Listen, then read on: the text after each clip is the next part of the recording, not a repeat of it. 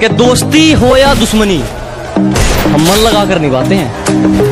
कि दोस्ती हो या दुश्मनी, हम मन लगा कर निभाते हैं। और वो बात की बात मत कर, तुम जैसों की बोली हमारे नौकर लगाते हैं।